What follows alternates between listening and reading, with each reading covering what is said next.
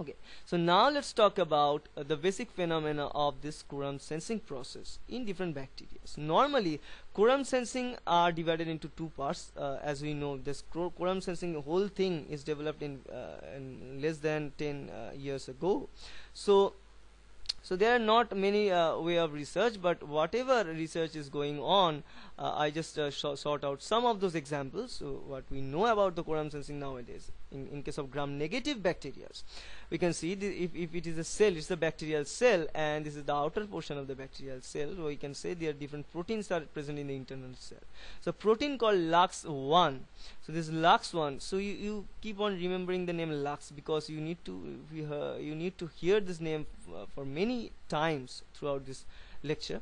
So the lux one lux i so not it's lux i g, uh, protein the lux i gene it produces a protein. So lux i gene produces a protein a protein which is called ahl uh, the name of it is as, uh, acyl homoserine uh, lactone.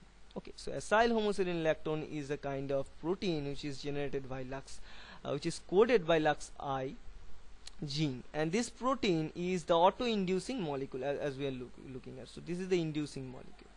This is the this is the inducing molecule which is produced and this inducing molecule have to be entered into the cell and finally it will activate a certain region of the cell which will activate uh, the cell to develop something that finally helps the cell to grow.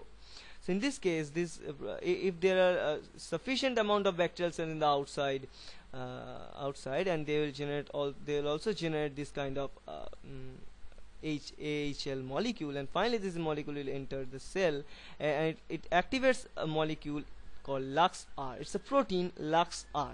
So this protein is a regulatory part. In this case, normally the protein has different subunits. The protein's structure, uh, the DNA binding site of the protein LuxR is placed on the inside of this.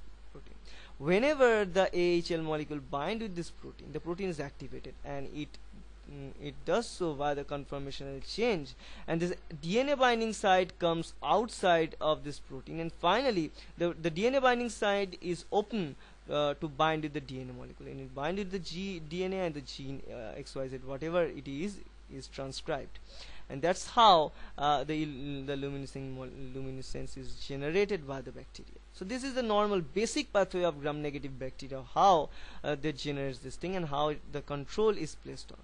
So if we notice uh, in case of gram positive bacteria the mechanism is, is, the basic idea is behind the same. So we need to have a sufficient amount of the signaling or inducer molecules outside the cell to to generate a response from the cell so if there uh, if there the amount of uh, the concentration of inducer are greater the outside then uh, this molecule finally enters into a channel protein. Here it is called the sensor kinase. As the name suggests kinase means it attaches phosphate group to other proteins. In this case it attaches phosphate group to a response regulator. And this regulator protein finally bind with DNA and transcribes the gene for the purpose. okay so this is the basic difference between the gram positive and gram negative bacteria. The basic difference is uh, the mode of action. In this case the action is mediated by the protein direct attachment of the those AHL protein with uh, the lux R. But in this case this is not a direct attachment. It is via a phosphorylation event that's the basic difference. But the main idea is the same. Uh, all this kind of response can only be generated if there is sufficient amount of inducing molecules outside. And when we have the sufficient amount of inducing molecules outside the only way of having the sufficient mo uh, inducing molecules outside is to have a higher cell density.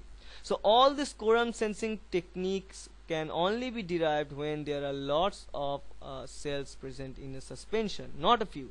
So quorum sensing event always means a colony of cells not a single cell